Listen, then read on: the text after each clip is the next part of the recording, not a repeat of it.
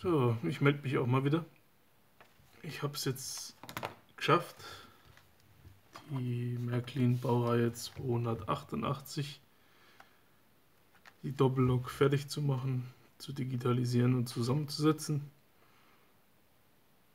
Gefilmt habe ich es jetzt nicht, wie man die digitalisiert. Gibt es mehr als genug Videos, wie man Lok auf digital umrüstet. Ah, ich wollte jetzt einfach nur mal beweisen, dass sie auch fährt.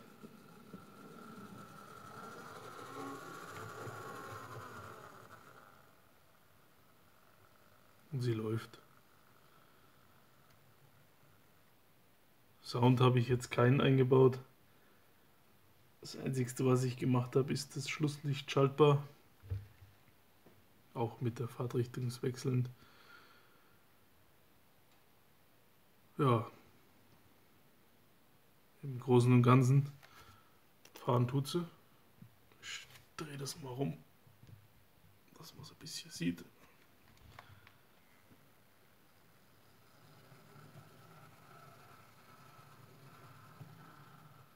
Sieht man das Schlusslicht. Dreilichtspitzensignal, so wie ich es gern hätte oder habe. Relativ gedimmt, weil es ist ein Lok, kein Auto. Ich brauche da kein helles, strahlendes Licht.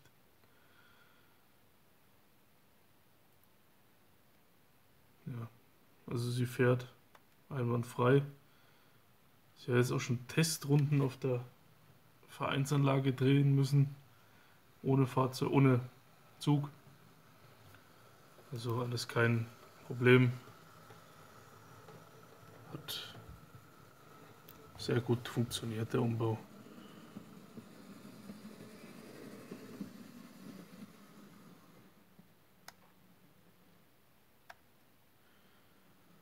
Ja, an den Decoder-Einstellungen muss ich jetzt noch ein bisschen was ändern.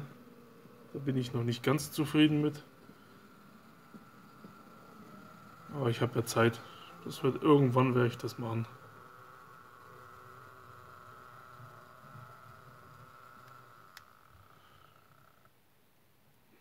Also ich wollte bloß mal zeigen, dass ich sie fertiggestellt habe, dass sie fährt. Haben wir auch dieses Projekt abgeschlossen. Vielleicht noch ein wenig, äh, ja, ob sich das lohnt, so ein Umbau. Und da bin ich ganz ehrlich, nein. Wenn man bloß eine Lok umbaut, rentiert sich das nicht. Wenn man mehrere Fahrzeuge auf zwei Leiter umrüstet, dann rentiert sich das Ganze dann schon eher, weil allein das Werkzeug hat fast, ja, ich weiß nicht, wie soll ich jetzt sagen, ja, knapp 600 Euro gekostet. Nur das Werkzeug und die,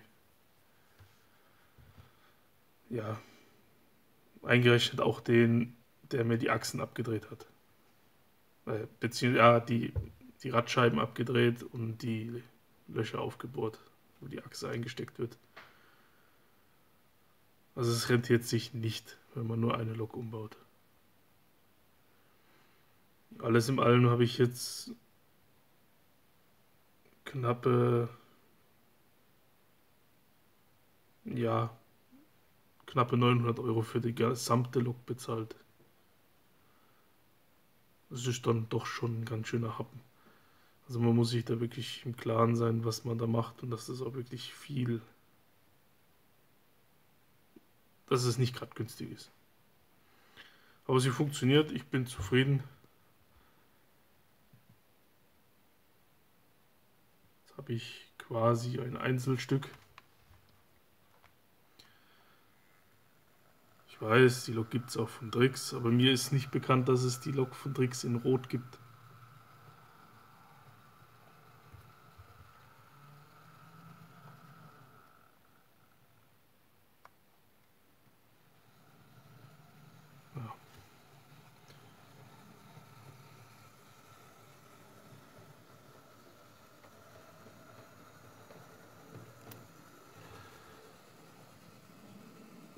Ne?